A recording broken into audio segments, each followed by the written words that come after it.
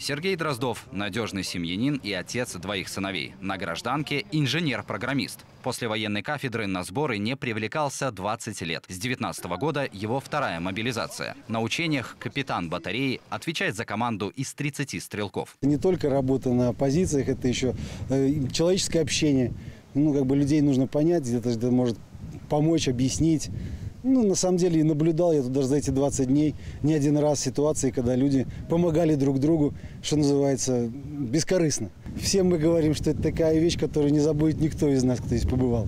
Вот, потому что это, ну, как бы и, и непросто, ну, вот, с одной стороны. Ну и что-то новое каждому, я думаю, тут удалось узнать или почувствовать. Сергей и его команда во всеоружии. Звучит приказ. Все на места. На блокпосту ГАИ и тероборона. Проверяют транспорт на наличие опасных грузов. В одном из авто обнаружена банда с арсеналом оружия и взрывчаткой. Жаркая перестрелка, захват опасных преступников.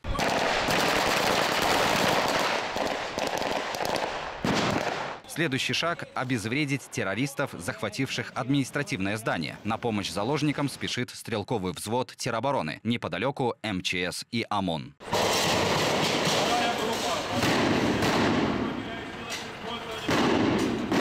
Преступники обезврежены. Выживших отправили за решетку. Но расслабляться рано. Разведгруппа замечает противника на бронетехнике. Сигнал передан, тяжелая артиллерия в действии. Сработали слаженно и оперативно. Враг уничтожен.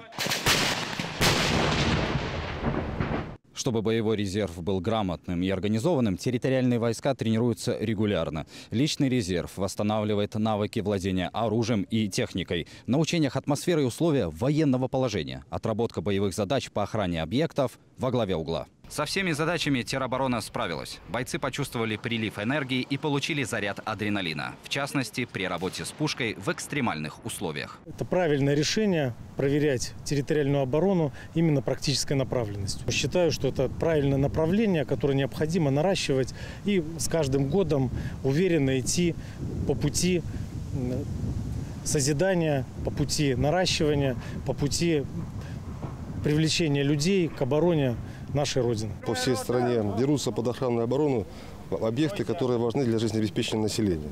Это, как правило, объекты энергетики, водоснабжения, теплоснабжения, пункты управления. В Минске таких объектов тоже предостаточно. И, вот, и водозаборы, электроподстанции, вывод которых из строя может привести к коллапсу в городе Минске. Масштабный сбор и командно-штабные учения завершены. Уже сегодня военнообязанные возвращаются в свои семьи. Но при любой тревоге вновь готовы стать на защиту Родины. Территориальные войска не подменяют, а дополняют регулярную армию в случае необходимости. И роль таких бойцов в непростое время переоценить сложно. Антон Ковальчук, Андрей Мушавец, Сергей Васюкевич. Наши новости.